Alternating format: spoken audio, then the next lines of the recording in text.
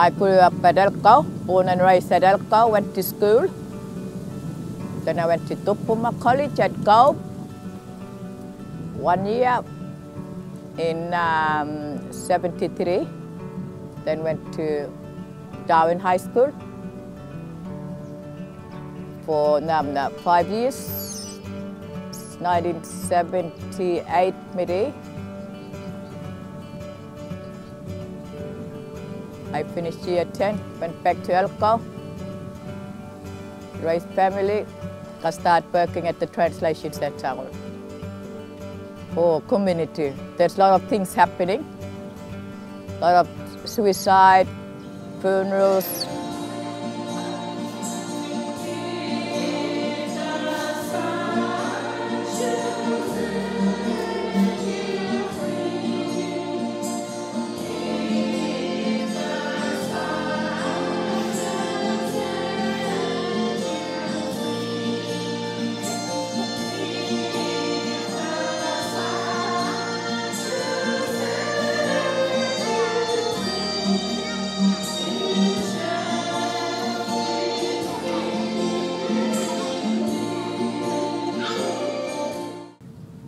Patrol and everything, but they have night activities.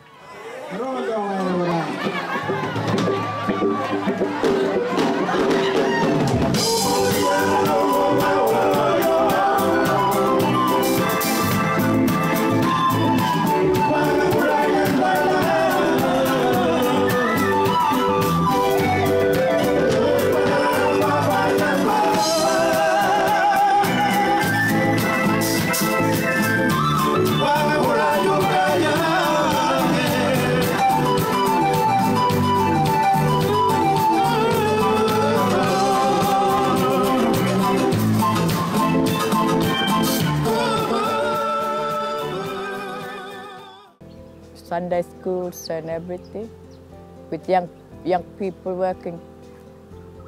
Got evening fellowship.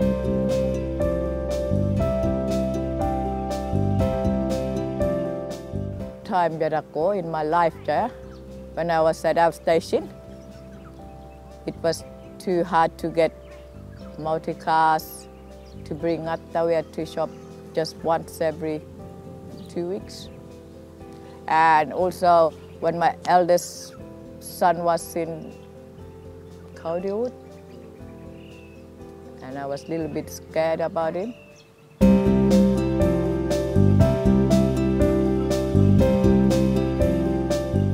Kai Rangil was looking for somebody to help her with the back translation. She couldn't find any anyone to help her. So she rang outstation where I was living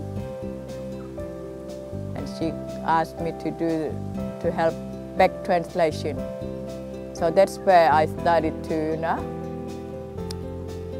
start to change my life. Whatever whatever problem comes,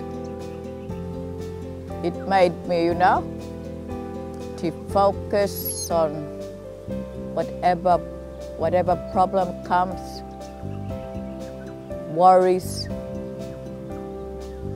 and it helped me make Ngaraku life a little bit easier to focus when I have problems or troubles with my family.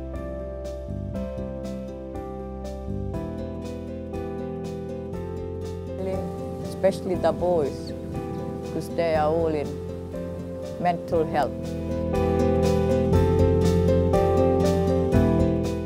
All my, my eldest brother and my work now team, all the translators that work that I work with them, like Kappai Maraja, Ngandama, Margaret, especially old lady, Balanda lady.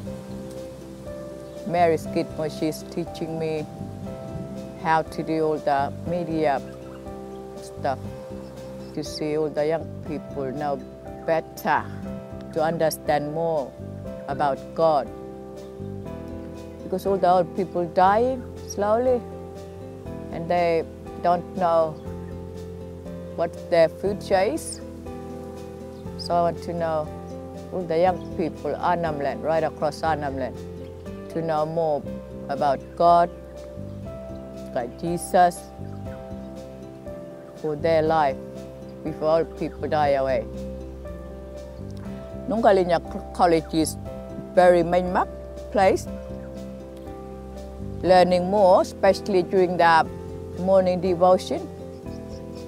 It double up our thinking for the rest of our life. That's why we have morning fellowship. Learning here in Balanda language. So when I go back there, I'm going to teach them in Yolngu way, Yolngu mata, using Yolngu language. And that's the best thing I like to do.